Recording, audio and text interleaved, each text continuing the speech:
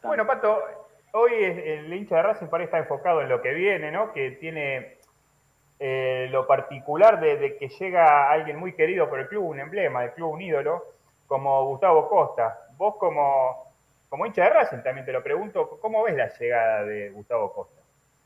Eh, mirá, ayer casualmente cuando me llamaron para, para arreglar, para hablar hoy, eh, estábamos cenando eh, los chicos tienen un grupo de la Supercopa Campeón, ¿no? Y bueno, y a veces nos sumamos algunos que más o menos fuimos todos contemporáneos por los años, ¿viste? Ahí claro. llegué en junio del 89 y más o menos fui compañero de la mayoría de, los campeones de Supercopa.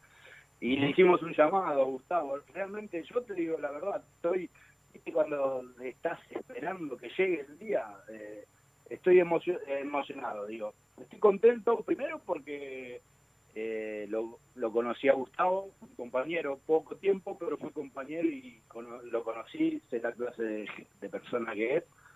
Y la verdad que a uno le da un gusto enorme eh, ver que haya podido arreglar en el club. Eh, aparte, bueno, sabemos toda la historia de Gustavo, ¿no? Y, y también porque, bueno, te llena un poquito de ilusión, uno va viendo el día a día, ve los refuerzos y, bueno, con, con ansiedad, ¿viste? De que empiece, que sea este sábado, no el próximo, no sé, una cosa así. Pero bueno, contento, la verdad contento.